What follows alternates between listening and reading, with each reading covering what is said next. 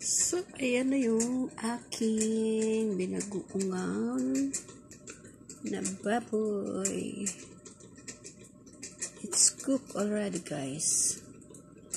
Let's eat na naman.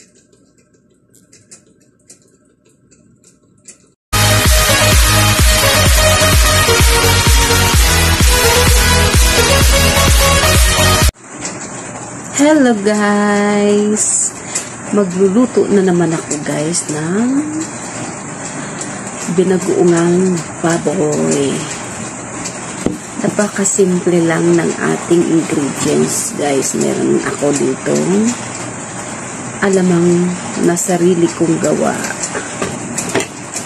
At meron akong kamatis, bawang sibuyas at saka siling pangsigang. So, tara guys, magluluto na naman tayo sa aking kusina. Samahan niyo ako guys. Let's go!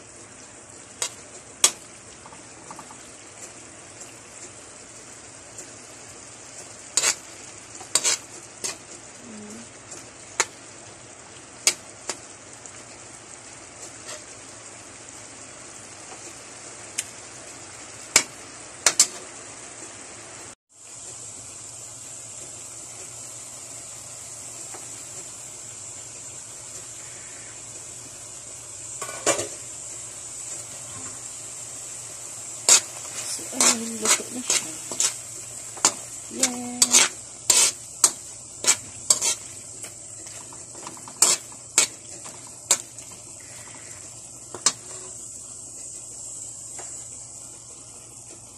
So, ayan na yung aking binaguungan na baboy. It's cooked already, guys. Let's eat na naman.